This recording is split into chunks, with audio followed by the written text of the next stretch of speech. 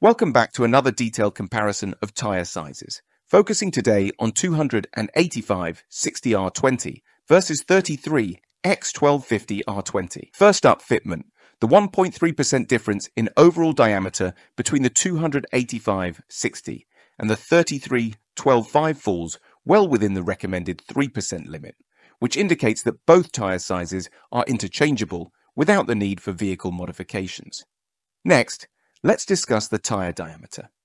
The 285-60 is slightly larger in diameter by 0.44 inches compared to the 33-12-5, providing marginally more ground clearance, which can be beneficial for off-road driving, though the difference is minimal.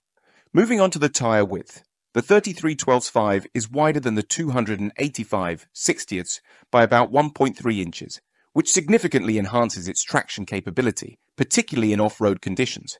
This wider profile could potentially affect fuel efficiency due to increased rolling resistance. Concerning the sidewall height, the 285 60ths has a sidewall that is 0.22 inches taller than that of the 33 5 This increased sidewall height can contribute to better shock absorption and comfort when handling rough terrains. And regarding the speedometer difference, if you switch from the 285 60ths to the 33 5 when your speedometer reads 20 miles per hour, your actual speed is about 19.73 miles per hour. Based on our observation, both tyres offer similar features with minor differences.